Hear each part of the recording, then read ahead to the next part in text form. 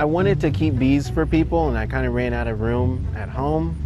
Um, so I started asking around. Next thing I knew, uh, this school, I was talking to William McKinley about keeping bees for them. These colonies are relatively new, um, so it takes a little time for them to um, build up in population, like to get enough bees to make honey, um, because it also like takes honey to continue making bees, honey and pollen.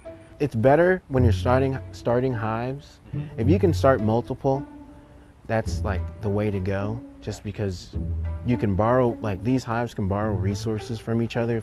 We watched a, um, a video about um, harvesting uh, bee honey. Ooh, I love harvesting videos.